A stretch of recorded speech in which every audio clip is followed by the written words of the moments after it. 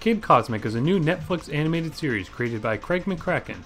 You probably all know him as the creator of Powerpuff Girls, Foster's Home for Imaginary Friends, and Wander Over Yonder. Rob Renzetti, who created My Life as a Teenage Robot and directed much of Gravity Falls, was also a lead part in this series.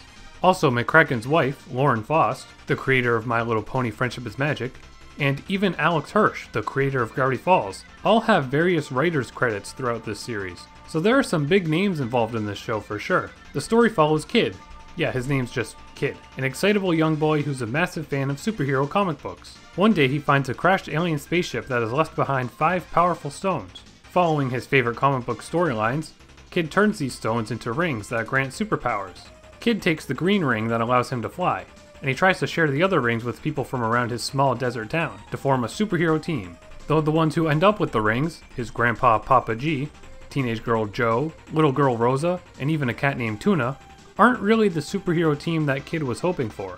Soon, alien threats from around the universe head to Earth to steal the cosmic stones, so it's up to Kid and his team of unlikely and completely unprepared superheroes to save the day. Now, when you read the plot out like that, it sort of sounds like a pretty basic premise, right? But they actually do a lot to make the story really interesting. First of all, this is nothing like McCracken's other shows. Aside from some of the designs and the focus on the superheroes, this is very different from anything else he's worked on before. Kid Cosmic has an entirely linear story. It's like a miniseries, basically. Every episode bleeds into the next, and there really isn't a second of filler in the whole show. Surprisingly, too, there are a lot of plot twists and character developments that change the course of the series regularly throughout its short 10 episode run so far. What really makes this show intriguing is the protagonist, Kid. He's a comic book fan, thrown into a real life comic book adventure, but real life is nothing like a fictional book. Nothing ever really goes Kid's way, and despite yearning so badly to be a superhero, he's the worst at it compared to his unlikely partners. Even the six year old toddler is better than him at fighting aliens. The story ends up rolling into an emotional arc focused on Kid. He grew up lonely and he's pretty envious of the other's abilities, so when things don't go his way, he gets really upset, just like a real kid would. Despite the very cartoonish visual style and the base scenario of the series, it's actually really grounded and it treats its characters pretty realistically. I don't think anyone would go into this show expecting to get the type of story that it actually gives you. I get vague Captain Underpants or even Pajama Sam vibes from Kid's character, He's an ambitious young superhero fanboy who, at the end of the day, is just a kid. You could tell a lot of McCracken's childhood feelings and interests were put into this series. Similar to how with Captain Underpants, you can obviously tell that those books were written by somebody who grew up a huge comic book fan. The pacing in Kid Cosmic gets going really quickly. The direction of the show's story changes pretty drastically a handful of times throughout this short 10 episode season. And that's something I always like to see. It keeps you on your toes and you get easily invested. A good example is how there's a point in the show where a character briefly sees a vision of the future, and I saw that and I thought like, oh, okay, cool. So that's just like foreshadowing for the final episode of the whole show or the season finale or a cliffhanger or something. But no, the next episode they mention that vision, and that vision becomes the premise of the show because the characters start to work to make sure that that vision doesn't happen in reality. And when that vision actually ends up happening in the series, it's in like the third before last episode.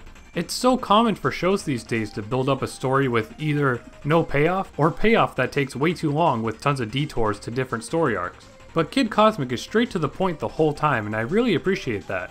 Even though almost every cartoon nowadays tries to tell a continuity heavy story, you very rarely see a series as direct and linear as Kid Cosmic. So the story and pacing were definitely the best things about this series to me. Every episode left me excited to see what would happen next. Even just the way they end the episodes by showing the title card and then playing a quick little theme song before cutting to credits was a really cool idea. It always helped build anticipation and sort of make it feel like you just closed the back page of a comic book and need to move on to the next exciting issue. I'm sure you can tell from these screenshots that the show has a very cool art style. It goes for a retro aesthetic, so I guess it's sort of a 1950s animation aesthetic, but with more detailing similar to a retro comic book. The show's world and music has a lot of retro tech and sound going on in it too. The show does a great job of creating a very unique vibe. With some of the alien designs and even the choices in voice actors, you can tell that this is a Craig McCracken cartoon, but it does still have a different art style than his usual shows. I think just the one thing missing here in this show is more interesting animation. Wander Over Yonder, for example, well, much of that show isn't really that memorable to me, aside from the second season, but the animation in that show is really amazing. It's flash animated, and yet it has this super zany, bouncy movement at all times. There's a lot of diversity in the storyboard composition too. I think Kid Cosmic could definitely benefit from having that sort of style in its animation. Like yeah, Kid Cosmic is supposed to be retro and grounded, so the sort of plain visual compositions work, but it just isn't all that visually interesting sometimes. They do that thing where some of the animation has an intentional low frame rate so that it looks more comic booky, you know, like what Spider-Verse does. But I think more fluid motion would fit the show's style better actually. It's weird too, cause it seems like they only do the low frame rate thing like sometimes. I think they could have gone farther with the animation. It should have been more bouncy and goofy. Even though that's not really how the show's tone is, I, I think it would help it visually. But with that said, I do love all the character designs. There's a really cool diversity. All the main cast look pretty iconic, and some of the aliens they come up with are really cool, even if they're just on screen for a few seconds. The voice acting is great from everyone too, though it was a little weird to me that they got Grey Griffin to voice like every single adult female character. That was distracting to me. Tom Kenny is in here, because of course he is, and his role as one of the aliens was hilarious. His character and Kid were probably my favorites in the whole series. There's actually some more mature stuff in this show than usual. Like, most episodes will have quite a few light swear words. They'll say things like damn or hell. You know, that's not really life changing, but, but not even regular show got to use those words, you know? They kind of just got to say, like, suck and freaking. So somehow, Kid Cosmic ends up being rated TVY7 despite using some mature ish language. There's also just a lot of great dark comedy, like a lot of visual indications of like future visions where all the characters just die and like you see their corpses or them fighting off the aliens and like literally just killing the aliens. One of my favorite things was uh, Papa G's superpower. He can make clones of himself, so there ends up being a lot of jokes where his clones are just getting killed off in horrible ways, like they're just using them as meat shields. I think all that's really funny. The slight increase in maturity that this show has definitely helps it feel unique, and even helps it feel realistic, really.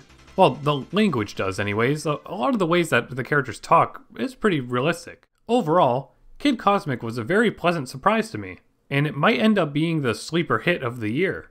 It doesn't seem like it's that popular, so I'd encourage everyone to check it out if it seems interesting to you. It is getting a second season, but I think it could have easily ended being just this one season. It could have been a perfect little miniseries, though I am excited to see what the future holds for it. The way the first season ends implies to me that the next season will be seeing even more really cool character designs and locations. So if you're a fan of superhero stories, sci fi, or just cartoons in general, don't miss out on this one. It may literally have the word kid in the title, but I promise that this show is something that anyone of any age could easily enjoy and get invested in. In particular, I'd say if you were a fan of Wander Over Yonder, I think you'll really like this series, since it has a similar focus on cool aliens, and it tells a linear story the same way that Wander's final season does. I do think the animation could be a bit better, but the fact that the series is so straight to the point and concise makes it really stand out to me, and makes it worthy of a high rating. A minorly interesting thing about this show that I noticed is how, during the credits, it's labeled as a Craig McCracken cartoon, almost like he has his own production branding now. How cool would it be for Kid Cosmic to be the first in a long string of totally original miniseries created by him? It's getting another season, so maybe that's not the case. But wouldn't it be cool for McCracken and other legacy cartoon creators to just go out and make like a dozen new shows back to back for streaming services?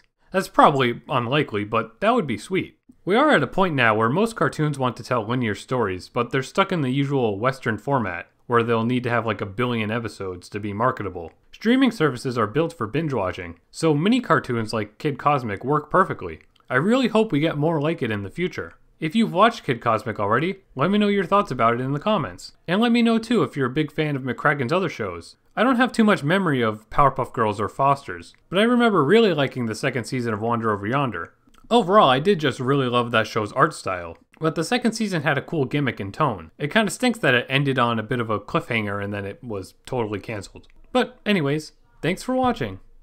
Please leave a like on this video if you enjoyed it, and subscribe to my channel and hit the bell icon to know when I post new videos. Thanks for watching, and super special thanks to my Patreon supporters. Support me on Patreon and you'll be able to submit video topics, see exclusive behind the scenes content, and help me keep this channel going.